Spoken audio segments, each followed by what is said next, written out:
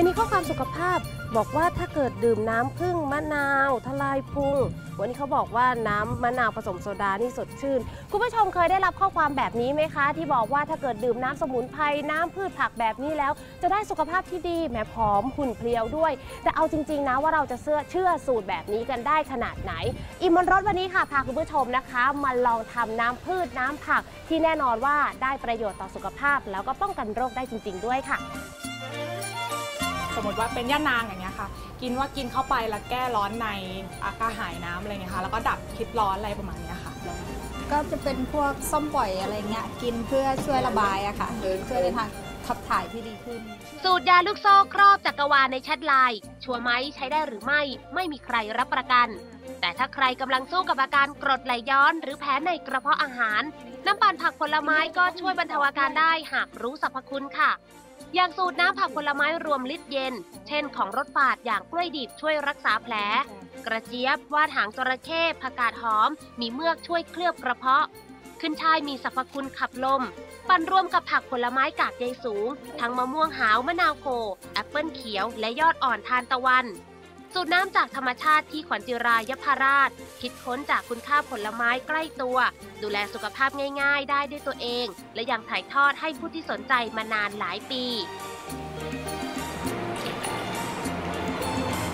อันนี้เรียนเพราะว่าคนส่วนใหญ่แล้วร่างกายจะร้อนเร่งรีบนะคะ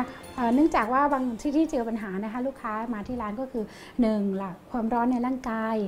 เกิดจากไปกินอาหารที่มีชูรสเยอะนะคะแล้วก็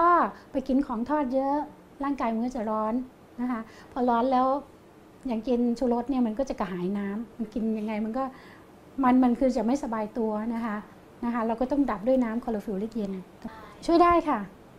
แล้วที่ตามมาอีกก็จะมีเรื่องของ มะเร็งเบาหวานความดัน แล้วก็เนี่ยแหละค่ะตามมาติดๆแล้วก็เรื่องของผู้สูงวัยเข้ามาเยอะเรื่องกระดูกก็เรื่องอีกอย่างหนึ่งวัยทองที่นอนไม่หลับ ก็จะใช้ต้นน้ำเขาก็งอกนะคะเขาก็งอกนี้มันจะมีสารกาบามันจะไปบำรุงสมองด้วย แล้วก็เวลาเรากินไปสักครึ่งชั่วโมง จะทำให้รู้สึกว่าเราจะง่วงนอน หลับได้ลึก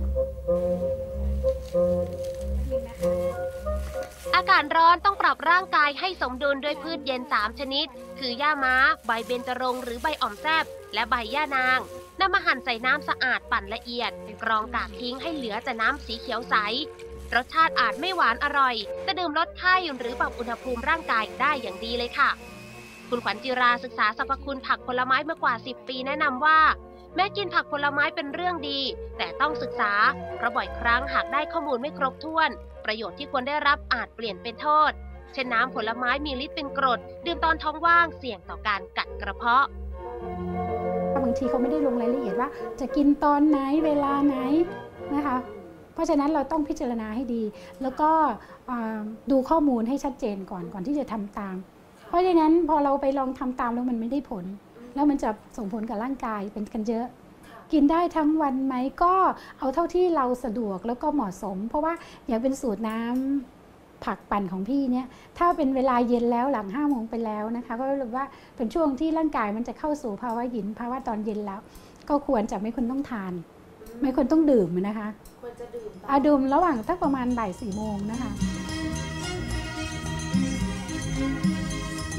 จะให้มั่นใจไร้สารต้องปลูกเองที่บ้าน อย่างข้าวสาลีที่นำพันธุ์มาปลูกใส่กระบะเล็กๆ ให้โต 7-8 วัน ก็จะได้ต้นอ่อน พร้อมนำมาทำเป็นน้ำคั้นต้นอ่อนข้าวสาลี มีคอโรฟิลสูง และบำรุงเม็ดเลือดขาว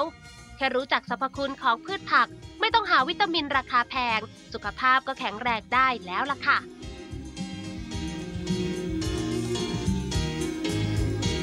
นแล้วสารสวยใสนะคะกินด้วยอารมณ์ที่แจ่มใส พออมไว้แล้วก็เคี้ยวหน่อยอีก 5 วินาทีเพื่อที่จะให้น้ำลายเราออกมาช่วยย่อยนะคะ หลักการที่ดีต้องกินอย่างนี้นะคะ ต้องดื่มแบบนี้ค่ะ ก็กินได้เลยค่ะเป็นไงคะอะตามวสุดยอดมากค่ะ ด้วยน้ำน้ำมะพร้าวอ่อนค่ะมีที่เป็นด่างแล้วก็จะทำให้เห็นไหมคะ